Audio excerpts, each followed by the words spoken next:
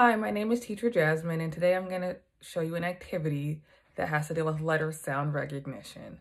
So for this activity, you'll need a piece of paper or cardboard or just something to write on that you can use because this will be our, our mat. And then you're going to need a marker because you're going to write on your paper the letters. So I chose letters that are uppercase because it's easier for children to at first recognize uppercase letters. And then once I've they have the uppercase letters down, you can go on to lowercase letters. So you're gonna have your piece of paper, you're gonna have your letters that you write on it, and your letters will correspond with your objects. So I printed out pictures of objects. I have a giraffe, I have a strawberry, I have a lion, and a couple other objects. So the letters on my board will start with the first letter of the animal or object that I have.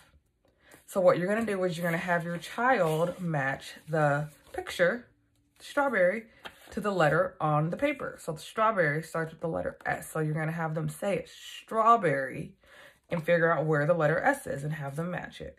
So it'll take a couple of times for you to explain for them how to do this, but after two or three times, they should know how to do it on their own. It's also important to make sure that you use animals or pictures or objects that your child knows the names of. We want to make this fun and engaging and not something that's hard and difficult for them. We want them to learn and have fun, but we also want them to be challenged.